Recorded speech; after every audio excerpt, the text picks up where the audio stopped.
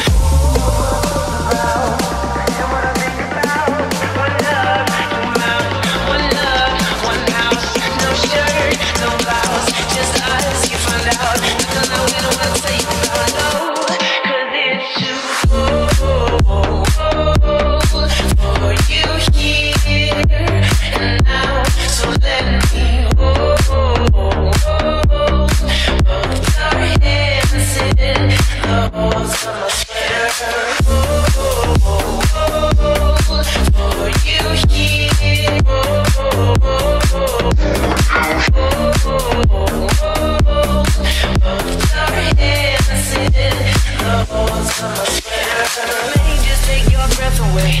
I don't mind if there's not much to say. Sometimes the silence.